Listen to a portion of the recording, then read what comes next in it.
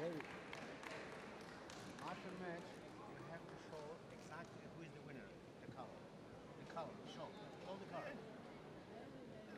I always sometimes we forget. And...